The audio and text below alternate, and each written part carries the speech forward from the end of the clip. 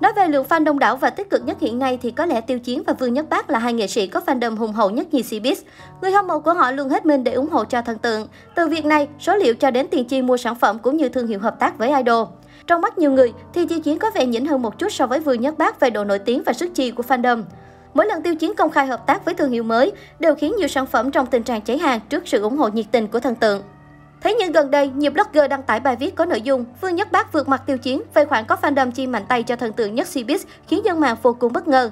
Nội dung bài đăng kèm theo hình ảnh thống kê về số lượng fan hâm mộ Vương Nhất Bác và khả năng ủng hộ cho thần tượng hết mình của họ.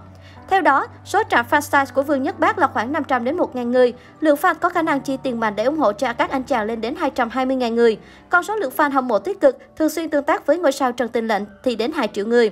Tính tất cả, số người hâm mộ trên tất cả các nền tảng, Vương Nhất Bác sở hữu lên đến 50 triệu fan. Tuy nhiên trước tin tức này, nhiều người bày tỏ chẳng thể nào tin tưởng được dù cho Vương Nhất Bác đang là cái tên hot trong showbiz với lượng fan hâm mộ hùng hậu. Một số dân mạng nhận định không có nhiều fan sẵn sàng chi tiền cho anh chàng, trái ngược với con số 220.000 người kia.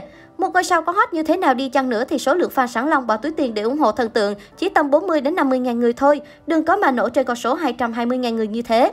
Đồng thời, một chi tiết khá vô lý được dân mạng bóc trần trong thông tin trên chính là số người hâm mộ tích cực tương tác, cài số liệu cho Vương Bác lên đến 2 triệu người. Thế nhưng, dữ liệu trên các nền tảng xã hội như lượt bình luận Weibo, lượt xem video ngắn của nam minh tinh chưa bao giờ đạt đến con số này.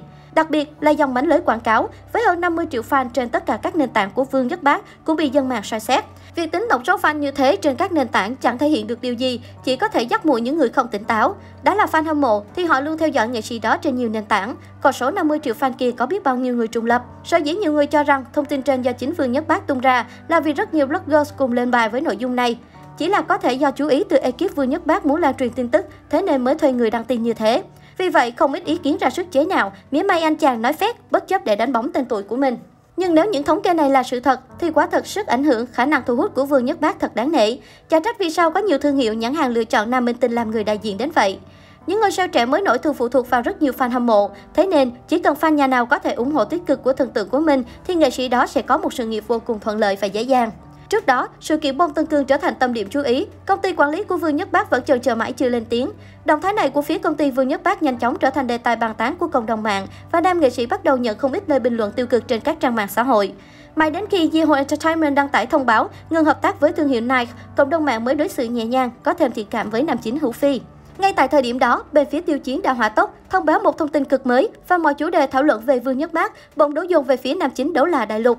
Nhiều cư dân mạng nghi ngờ rằng có phải tiêu chiến đang giải vây cho Vương Nhất Bác ngay lúc dầu sôi giữa bỏng hay không, hay sự tình này xảy ra quá đột ngột.